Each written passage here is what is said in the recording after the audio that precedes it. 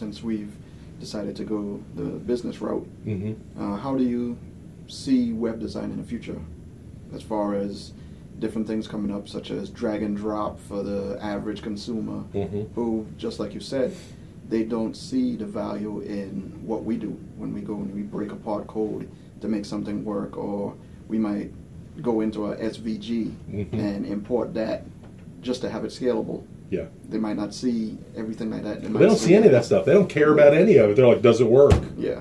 And if it works and it gives them the experience they're looking for, you know, so if you're picking up the phone, whether you're looking at it vertically, horizontally, pick up a tablet, you know, you grab a big phone, you get your desktop, as long as they can look at all their devices and it works the way they expect it to, they're not going to care. You know, it's like it's really up to us to figure out how can we harness all these things collectively to make that thing the best it can be, whether it's you know developing a positive user experience or whether it's uh, trying to make it download fast enough so somebody can evaluate whether they want to be there or not. You know, and those two things are seemingly at odds with each other, but they're really not. I mean, like I was in the class, I was just I was just uh, sort of working in. What they're doing right now is they're creating mobile app marketing websites, and so one of the things they're juggling right now, which is one of the things we juggle all the time, and I know you know this, they're juggling kind of overlaying different images and graphics and text on top of other objects that have to scale for different resolutions. And so they're like, you know, they're, they're kind of they're having a hard time wrapping their minds around the fact that they have to think of four different sizes simultaneously when they're doing something. And so one of one of the the headaches for them, I think, at the moment is how things are nested and how they have to be nested to work that way. That's the single biggest hurdle that they're running into. And I find that very interesting because I know that you do this, and I see it like that. I can look at it and go, yeah, I know what's going wrong. And, you know, some of that is just a number of years of doing it, frankly. And some of it is an inquisitiveness that I want to know why it doesn't work. You know, there's a lot of people out there who just don't care. They go, that's fine. It works 90%. Then they walk, they do that and walk away, you know. I want to know why it works or why it doesn't work. Because I want to know, did I introduce a context that made it not work? Like I ran into something yesterday with Bootstrap, for instance, where a student came in and they had a container, and in the container they had a uh, a medium eight column block and a medium four column block. Right, so eight and four is twelve, equal distance, no problem, and instantly horizontal scroll bar. And the dimensions are right. There's nothing wrong with it at all. And so we had kind of a workaround solution. I was sitting there thinking, well, wait a minute, why is this doing this? So we kind of went to Chrome, went to inspect element, tried changing the container from a fixed to a fluid container, seeing if maybe that was part of the problem. No. Took the second column that was four columns wide and made it three columns wide, right? So now it's 11. Still should fit. No, still a horizontal scroll bar. Like there's an extra two columns there that aren't there. And so what I thought was, okay, there's a way to solve this mm-hmm. Because the column count should be right. Because you look at the columns by themselves, yeah, they're correct. Because you go and click on the object, it highlights just the object itself, and then you get to the row and it shows the container with the margins.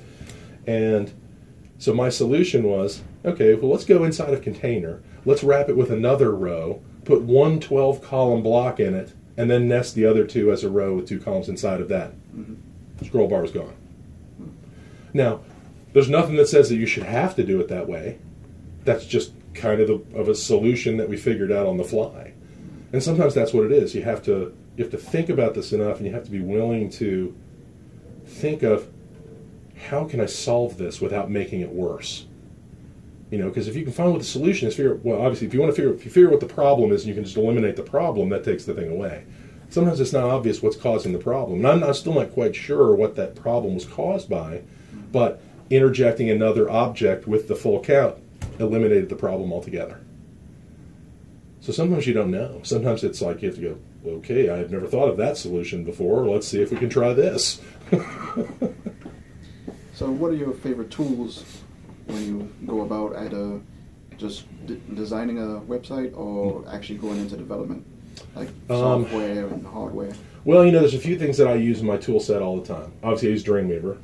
Um, I'll also use Sublime Text, Coda, Text Wrangler. Um, I use Bootstrap as a framework, so I'm also using jQuery. I'll use Font Awesome. Uh, obviously, I use you know Photoshop, Illustrator, all the Creative Suite stuff for creating graphics and things that I need. Um, but I also use you know, PHP, MySQL databases, uh, WordPress content management systems, you know, OpenCart content management for shopping carts or uh, Shopify or um, now Square, the Square store too. And that's the one thing I, I find the most interesting is that like you know you can develop yourself. I have a tool set, and you say these are the tools that I use all the time. Go back and look at that list two years later, and see are the same tools there. Some of them are, some of them aren't, because some of them have gone by the wayside. I mean, like you know, we used to always use uh, Firefox with Firebug mm-hmm. as a browser because of the inspect element. The, the developer tool of Firebug was about you know exposing those issues. Well, when Google Chrome introduced their developer tools, at first they were a little weird because it was a slightly different methodology. Um, because if you look at Firebug, it looks almost like the developer inspect element in Safari. They're very similar.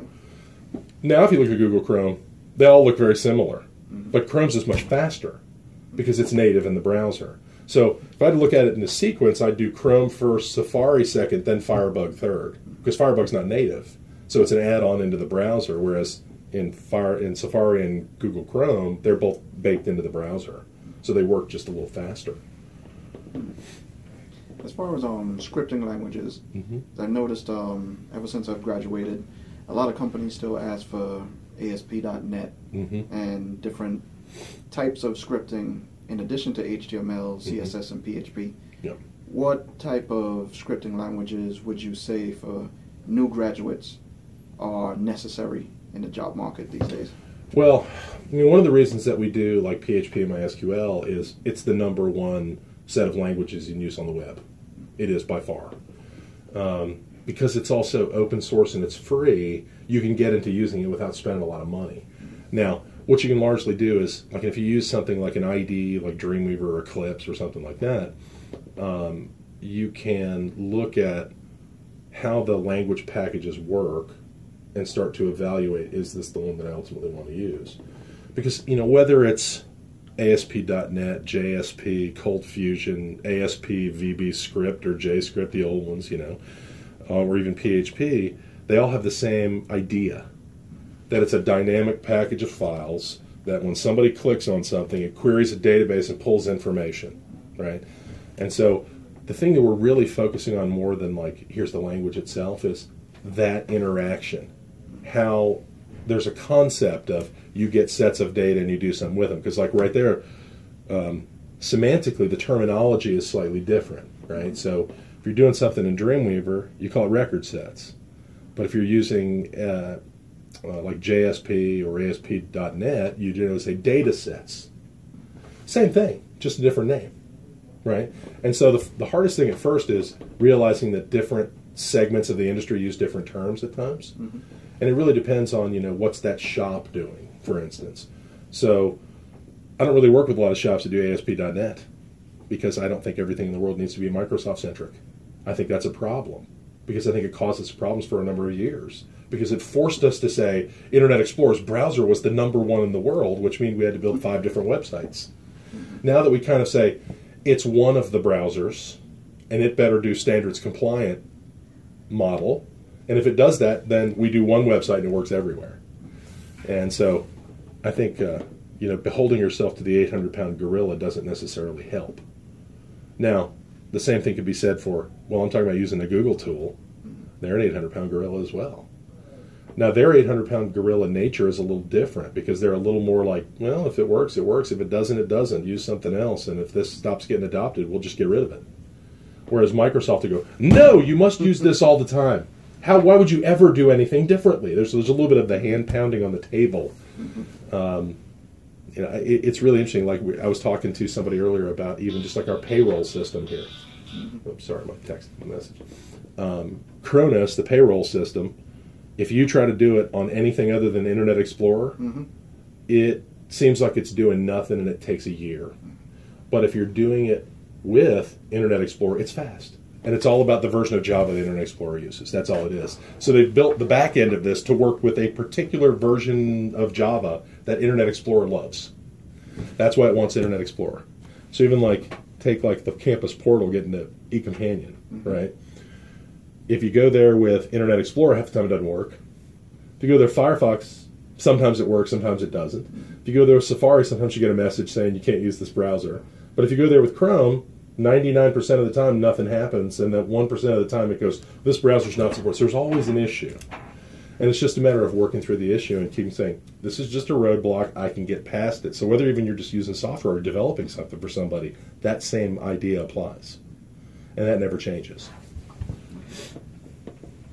You pretty much answered all of the questions that I had. Okay. And I definitely thank you for everything that has brought me to this point and for all of the advice that you have given for future web developers, current web designers, and everything in between.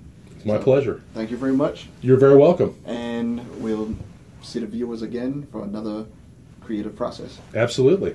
Thank you.